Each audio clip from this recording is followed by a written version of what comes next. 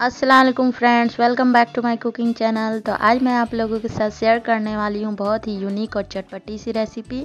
तो आज हम बनाएँगे सूजी के अंदर आलू और हरे मटर को स्टफ़ करके पैनकेक। आप इसे सूजी का चीला भी बोल सकते हैं। तो यहाँ पर मैंने ले लिया है 200 ग्राम सूजी। तो ये ज़्यादा बारीक वाली सूजी नहीं है। तो और अब हम इसमें डालेंगे स्वाद अनुसार नमक। तो मैंने यहाँ पर आधा छोटा चम्मच नमक ऐड कर दिया है। और उसी के साथ अब हम इसमें डालेंगे आधा टुकड़ा नींबू का रस। और आप चाहें तो यहाँ पर नींबू के बदले दो बड़ा चम्मच दही भी ऐड कर सकते हैं। उससे भी इसका टेस्ट बहुत ही अच्छा आता है। तो मैंने यहाँ पर नींबू ऐड कर दिया है। तो अब हम इसमें थोड़ा थोड़ा पानी डालकर इसका अच्छा सा स्मूथ सा बैटर बना लेंगे। तो अभी हमें इसे ज़्यादा पतला नहीं करना है, बस हमें सूजी के बराबर पानी डालकर इसे मिक्स कर लेना है।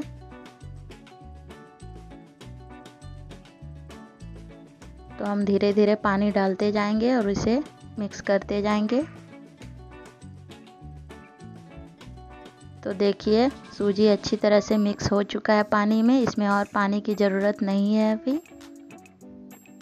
तो अब हम क्या करेंगे? इसे ढक देंगे और लगभग 15 से 20 मिनट तक के लिए इसे रेस्ट करने देंगे ताकि सूजी हमारी अच्छी तरह से फूल जाए।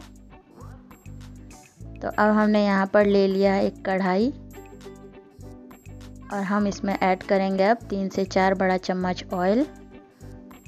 और ऑयल को हमें बिल्कुल अच्छी तरह से गर्म कर लेना है। तो देखिए, ऑयल हमारा गर्म हो चुका है। तो अब हम इसमें ऐड करेंगे एक छोटा चम्मच राई। और राई को हम बिल्कुल अच्छी तरह से चटकने देंगे।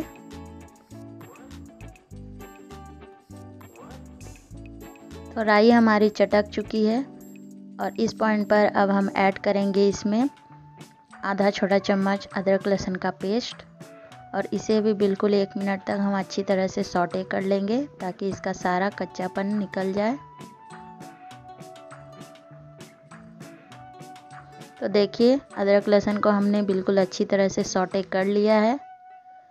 तो अब हम इसमें ऐड करेंगे एक बड़े साइज़ का बारीक कटा हुआ प्याज और इसे भी हल्का गोल्डन ब्राउन होने तक फ्राई कर लेंगे।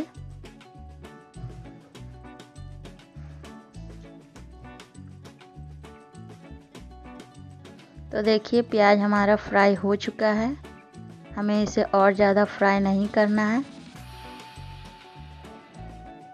और इसी के साथ हम इसमें ऐड करेंगे दो हरी मिर्च बारीक कटी हुई और इसे भी हल्का सा सॉटे कर लेंगे प्याज के साथ। तो देखिए, हमने प्याज और हरी मिर्च को अच्छी तरह से सॉटे कर लिया है। तो अब हम इसमें ऐड करेंगे मसाले। तो मसालों में हम यहाँ पर डालेंगे हल्दी, आधा छोटा चम्मच, आधा छोटा चम्मच लाल मिर्च का पाउडर, आधा छोटा चम्मच चिल्ली फ्लेक्स, एक छोटा चम्मच जीरा पाउडर, एक छोटा चम्मच धनिया पाउडर, एक बड़ा चम्मच चाट मसाला पाउडर और एक बड़ा चम्मच आमचूर पाउडर। तो सारे मसालों को हमने डाल दिया है और अब हम इसे अच्छी तरह से मिक्स कर लेंगे।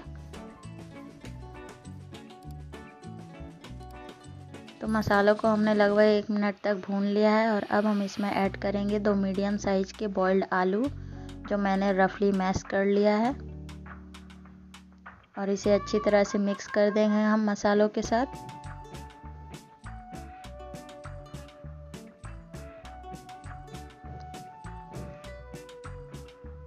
अब हम इसमें ऐड करेंगे हरा मटर। तो मैंने यहाँ पर एक कटोरी हरा मटर लिया है। और अब इन सबको हम अच्छी तरह से मिक्स कर देंगे।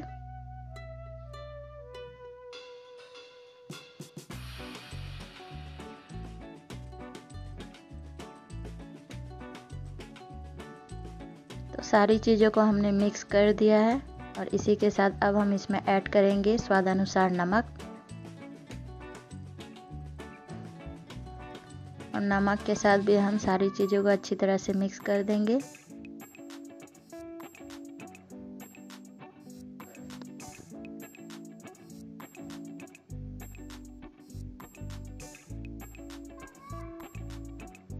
तो देखिए, ये अभी से ही कितना अच्छा लग रहा है। तो अब हम इसे ढक देंगे और धीमी आँच पर लगभग 10 मिनट तक के लिए पकाएँगे। तो 10 मिनट हो चुका है। देखिए, इसमें अच्छा सा स्टीम भी कलेक्ट हो चुका है। इससे हमारे मटर जल्दी सॉफ्ट हो जाएँगे।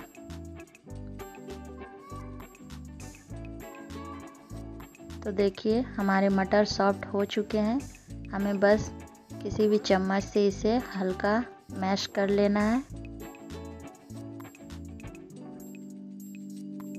तो देखिए, सारे मिक्सचर को हमने अच्छी तरह से मैश कर लिया है। तो हमारी स्टफिंग लगभग तैयार है।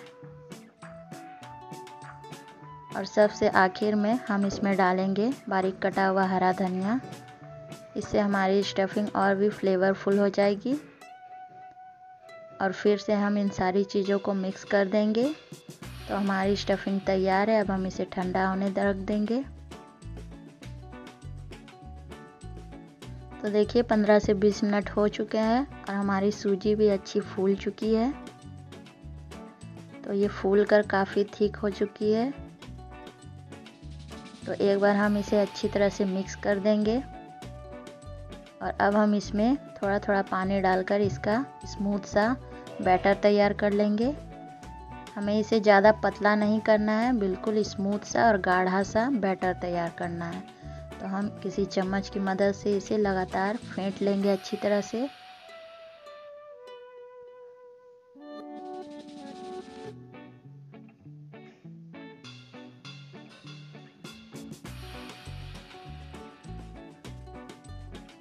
तो हम इसे जितना फेंटेंगे, हमारा बैटर उतना ही ज़्यादा फ्लपी होगा और सॉफ्ट बनेगी हमारे पैनकेक्स।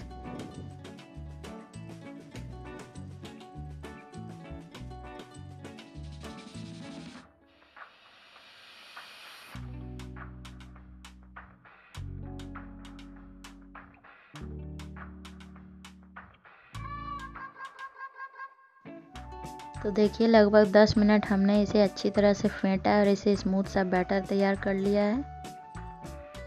तो अब हमने ले लिया है यहाँ पर एक तवा और उसमें हम डालेंगे एक चम्मच तेल और उसे ब्रश की मदद से अच्छी तरह से स्प्रेड कर लेंगे पूरे तवे पर। तो तवा भी हमारा गर्म हो चुका है अच्छी तरह से। और अब हम किसी चम्मच की मदद से उसमें ऐड करेंगे बैटर को। आप चाहें तो इसे अपने हिसाब से पतला मोटा बना सकते हैं। बस हमें सूजी के बैटर को अच्छी तरह से फैला लेना है तवे पर।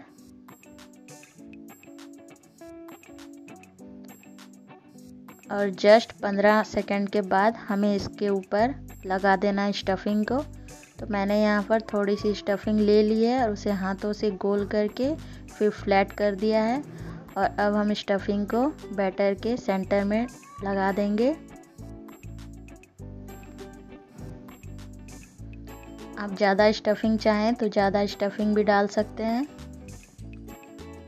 और अब हम इसके ऊपर से फिर से सूजी के बैटर को डालते जाएँगे धीरे धीरे तो बेसिकली हमें पूरे स्टफिंग को कवर करना है, सूजी के बैटर से।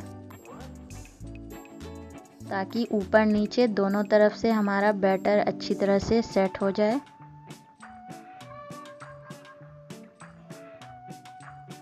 तो थोड़ा थोड़ा करके हमें हर तरफ़ से कवर कर लेना है।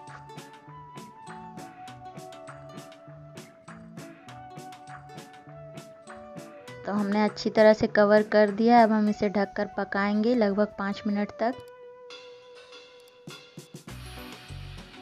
तो देखिए, पाँच मिनट हो चुके हैं। अब हम इसे चेक कर लेते हैं। तो ऊपर से हमारी सूजी का बैटर अच्छी तरह से ड्राई हो चुका है। एक बार हम इसे हिलाकर देख लेते हैं।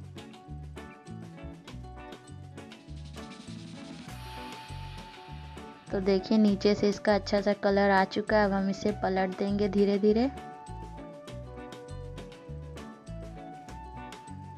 और अब हम इसमें लगाएँगे ऑयल तो पैन के चारों तरफ़ हमें ऑयल लगा लेना है और थोड़ा सा पैनकेक के ऊपर भी हम डाल देंगे ताकि बिल्कुल अच्छा क्रिस्प और गोल्डन ब्राउन सा पैनकेक बनकर तैयार हो।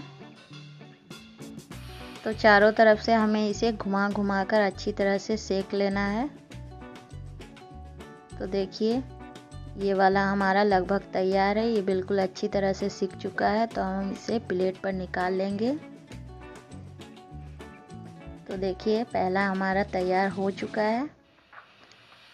तो अब हम इसे बीच से काट कर देखेंगे कि इसका टेक्सचर कैसा है।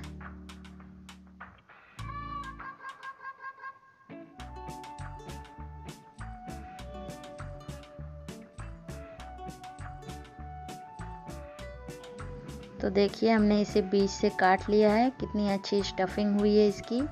और ये बहुत ही टेस्टी बनते हैं। आप भी एक बार ज़रूर ट्राई करिएगा। तो बाकी को भी हम इसी तरह से तैयार कर लेंगे। पहले हमें बैटर को डालना है। हल्का सा हम बैटर को फैला लेंगे।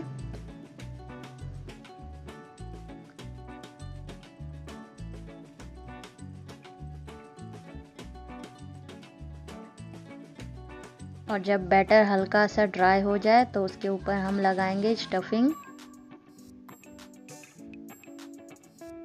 अगर गलती से बैटर ज़्यादा फैल जाए तो आप चम्मच की मदद से उसे सेट भी कर सकते हैं।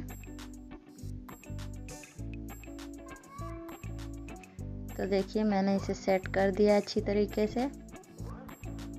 अब हम फिर से स्टफिंग के ऊपर से बैटर को लगा देंगे और स्टफिंग को अच्छी तरह से कवर कर देंगे।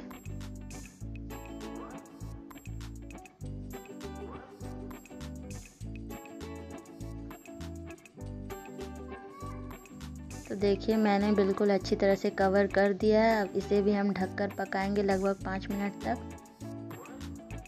तो पाँच मिनट हो चुके हैं।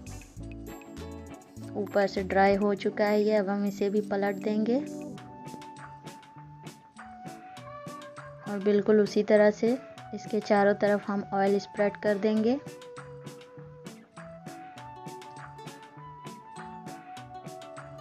और अब हम तवे पर घुमा घुमा कर पैनकेक को अच्छा क्रिस्प होने तक सेक लेंगे।